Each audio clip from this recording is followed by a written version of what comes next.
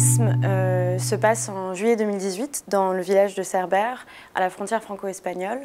Euh, la France vient de remporter la Coupe du Monde et une euh, jeune personne qui s'appelle Nour, qui a 20 ans, qui vit à Cerbère depuis toujours,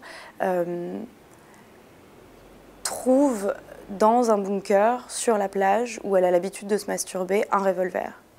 Ce revolver la fascine, elle s'en empare, elle quitte le bunker avec cette arme en se disant qu'elle finira par la rendre euh, lorsqu'elle aura trouvé une excuse pour justifier sa présence à cet endroit-là, à ce moment-là. Seulement lorsqu'elle rentre chez elle, elle découvre que son père Saïd vient de mourir et donc euh, elle se trouve propulsée dans euh, le tourbillon des funérailles avec pour seul ami ce revolver, un Manurin MR73, qui devient un guide pour elle pendant les sept jours qui suivent la mort de son père. Et donc la question qui traverse le roman est de savoir si Nour va se servir de ce revolver ou pas, euh, si elle va euh, répondre à tous les fantasmes euh, qu'il suscite chez elle. Quand je suis rentrée en France après plusieurs années passées à l'étranger, donc j'ai eu j'ai passé un peu de temps à observer cette société que j'avais regardée de très très loin pendant des années. Euh, et euh, est arrivée la Coupe du Monde et j'ai été frappée par euh, ce contexte très étrange qui suscitait en moi et parmi mes amis des sensations très contradictoires. C'était un moment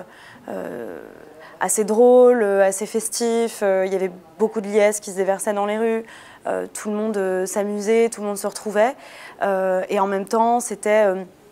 au-delà de ce symbole national dont on disait que c'était une grande communion, euh, euh, comme une sorte de grande messe, euh, c'était aussi un moment où on sentait qu'il y avait une ébullition politique, où on sentait que cette union qu'on brandissait dans tous les sens n'était pas si solide que ça et n'était pas si sincère que ça. je ressentais pas mal d'hypocrisie et puis aussi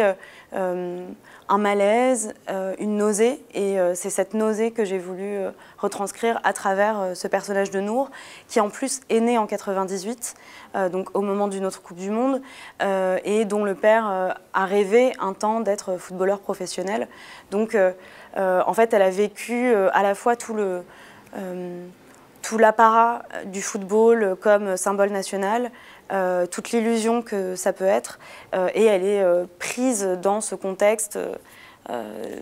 de l'été, d'une nouvelle Coupe du Monde, où il fait chaud, où tout le monde danse, et, où en même temps on ne sait plus très bien pourquoi les gens manifestent autant d'euphorie.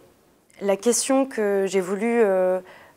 aborder dans le livre, ou en tout cas qui s'est imposée dans l'écriture du livre, est celle de l'étranger, c'est-à-dire comment on devient étranger dans une société où pourtant on a toujours pensé avoir une place naturelle, et comment cette société fabrique des étrangers par les images, par le langage, comment elle va euh, tracer des frontières entre les uns et les autres. Et en fait, euh, Nour devient étrangère euh, sans qu'on sache si c'est elle qui se pose comme ça ou si ce sont les autres qui posent les conditions de son étrangeté.